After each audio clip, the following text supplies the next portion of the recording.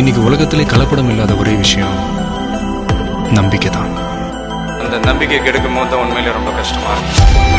இதனால என்ன சந்தோஷம் என்ன சாதிக்கிறாங்கன்னு எனக்கு எனக்கு புரிய மாட்டேங்குது. சும்மா சொல்லுவாங்க சார். நான் உன்னை நிஜமாவே லவ் பண்றேன் சிவா கூட இருக்கணும்னு தோணுது. இதெல்லாம் கேட்ட நான் சிரிச்சேன்.